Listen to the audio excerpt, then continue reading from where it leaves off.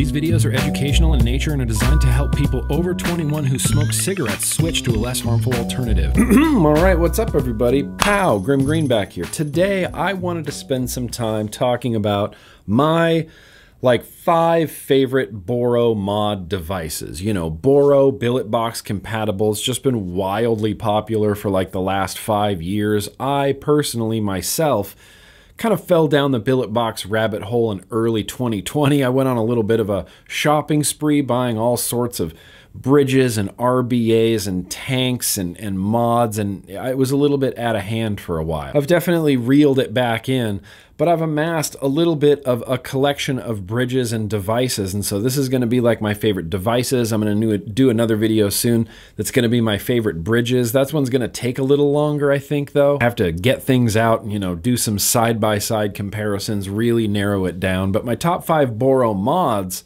I feel like might be a little bit easier. In fact, I've got them right here in the 1 through 5 positions. So these are non-billet box but Boro compatible devices. And look, the billet box, it's great. You know, it's the OG. It's it's the original. It's still great. It's still got a great hand feel. It still has probably the most customization available on it. And it's great, it's just not gonna be in my top five. Interestingly enough, only one of my top five favorite Boro mods is actually like functioning, like in working condition, vaping right now. Anyway, we'll get there when we get there.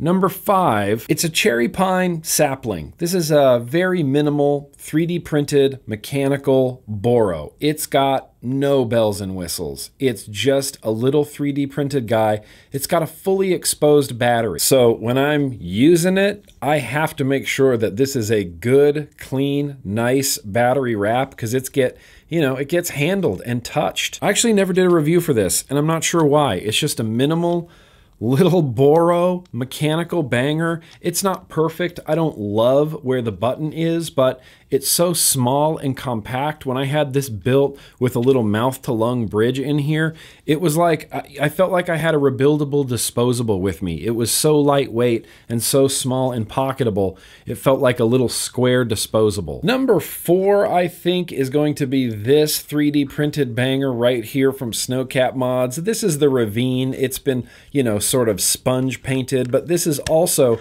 a fully mechanical 3D printed single 21 700 Boro compatible. It's mechanical and it's got a lock on the mechanical switch right there. I like this one because the switch is up here. It also has a battery cover, offers a little bit more protection that way. Still 3D printed, but I really like the Snowcap mods. I don't care what anybody says, fight me. I don't know if this is that big of a surprise. It's the Stubby. More importantly, it's the Stubby 21, which is the 21700 version of the Stubby. It's a big brick that's a 21700. It uses its own format, sort of modified, taller Boro, but there's a little adapter that it comes with that makes it compatible with I mean, I don't want to say literally every other Boro on the market, but essentially literally every other Boro on the market. Just did a review for this. The Pont is still in here, still impressing me somehow. This that's just waiting to be built. It's literally been sitting on my desk for weeks, just waiting to get some wicks in there. Uh, it's the Mission Astro. Yeah, I mean, this thing's just straight up cool. There's no, there's no way around it. I love the sideways Boro tank. I don't mind a single 18650. I really like the hand feel of it. It's just wonderful to hold. It's beautiful. I like the positioning of that flat mission switch on here. It does have, you know, a little battery rattle, or not battery rattle, a little bit of like hardware rattle. Doesn't really bother me, and I'm told that it's fine if high-end things rattle because a lot of high-end things rattle.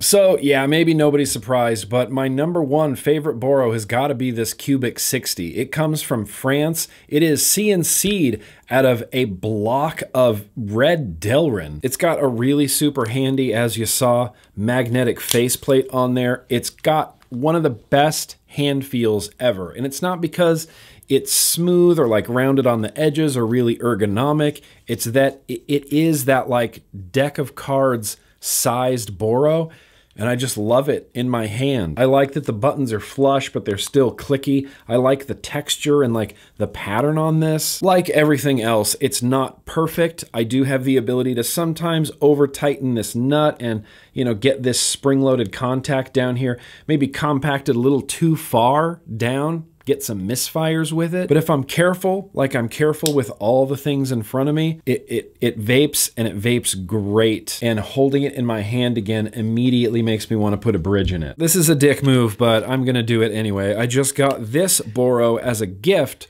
from Tribal Buddha. It's a Voorhees Customs gray, single 18650. They call it the ClickFet. It's pretty great. But this red crypt tank inside of the red Cubic 60, come on, that's cool. That's too cool to pass up. Yeah, that's that's busting. So yeah, there you go. That's my top five Boro devices of all time. I can't tell you where to get them or how much any of these cost because YouTube literally hates everything about vaping. But I can tell you this hey, if you are a current cigarette smoking person, now's the time to stop. It's 2023. Better living through science, better living through technology. There is a world of safer nicotine products out on the market for you in the description of this video. I'm going to put links to Just Science and Just Education. Yeah, this has been a Grimm Green video. Let's stay smoke free literally every single day. it's like 10:30, and I'm uh, just gonna smoke. So